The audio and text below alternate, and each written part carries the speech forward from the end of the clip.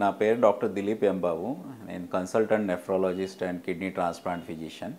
Kidney damage ఉన్నప్పుడు ఏ food item తీసుకుంటే కిడ్నీస్ ఫర్దర్ డ్యామేజ్ కాకుండా సో యూజువలీ ఫస్ట్ అంటే హై ప్రోటీన్ డయట్ మనం డయట్లో ఎక్సెస్ ప్రోటీన్ కంటెంట్ ఉంటే కిడ్నీ డ్యామేజ్ ఫాస్ట్గా ప్రోగ్రెస్ అవుతుంది. అంటే ఎవరికి కిడ్నీ డ్యామేజ్ ఉన్నది అలాంటి పేషెంట్స్ ఎక్సెస్ ప్రోటీన్స్ అవాయిడ్ చేయాలి. ఈ ఎక్సెస్ ప్రోటీన్స్ అంటే non vegetarian food normally chicken or red meat mutton all these excess protein content foods వల్ల ఉన్న కిడ్నీ డ్యామేజ్ ఫాస్ట్గా ప్రోగ్రెస్ అవుతుంది. నెక్స్ట్ అంటే ఫుడ్ ఐటమ్స్లో పొటాషియం ఎక్సెస్ కంటెంట్ ఒక్కొక్క పేషెంట్స్కి కిడ్నీ డ్యామేజ్ ఉంటే పొటాషియం లెవెల్స్ శరీరంలో చాలా ఎక్కువ అవుతుంది. ఆ పొటాషియం వల్ల హార్ట్ మీద ఎఫెక్ట్ రావచ్చు. సో ఏ ఫుడ్ ఐటమ్స్లో పొటాషియం లెవెల్స్ తక్కువ ఉన్నాయి ఇలాంటి ఫుడ్ ఐటమ్స్ కన్జ్యూమ్ చేయాలి.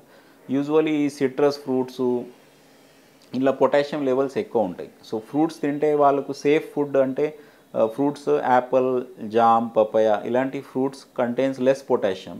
So ఇలాంటి ఫ్రూట్స్ వాళ్ళు తీసుకోవచ్చు. వేరే సిట్రస్ ఫ్రూట్స్లో పొటాషియం లెవెల్స్ ఎక్కువ ఉంటాయి అది అవాయిడ్ చేయాలి?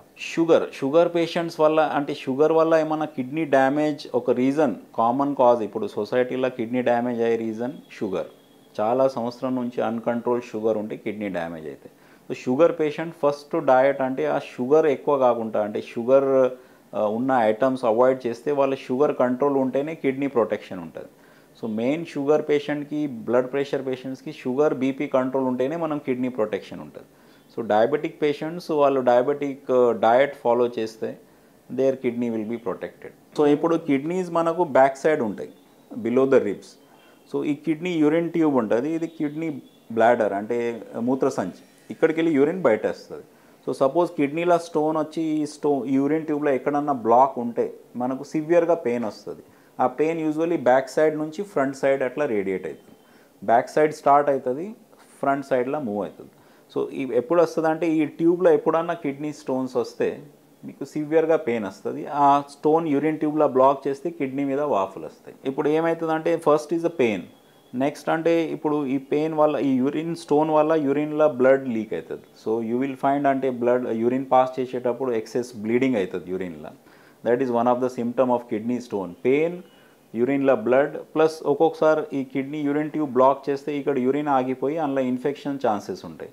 ఇన్ఫెక్షన్ వస్తే యూ విల్ హ్యావ్ అంటే ఫీవర్ చలి జ్వరం చిల్స్ రైగర్స్ అట్లా కిడ్నీ ఇన్ఫెక్షన్ కూడా ఆ సిమ్టమ్స్ కిడ్నీ ఇన్ఫెక్షన్ వల్ల చిల్స్ రైగర్స్ ఇలాంటివి స్టార్ట్ అవుతుంది కిడ్నీ స్టోన్స్ ఫామ్ అయ్యేది మెయిన్ రీజన్ అంటే జెనెటికే ఉంటుంది. అంటే ఫ్యామిలీ హిస్టరీ ఎవరన్నా కిడ్నీ స్టోన్స్ ఉంటేనే వాళ్ళకి స్టోన్స్ వచ్చే ఫ్యామిలీ మెంబర్స్కు వేరే నెక్స్ట్ జనరేషన్కు స్టోన్స్ వచ్చే రీజన్స్ కామన్గా పాసిబిలిటీ ఉంటుంది.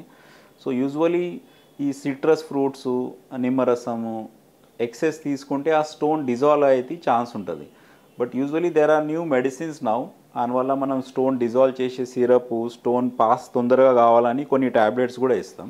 బట్ ఒకసారి స్టోన్ వస్తే ఫ్యూచర్లో ఇంకా స్టోన్ వచ్చేది ఛాన్సెస్ ఉంటాయి.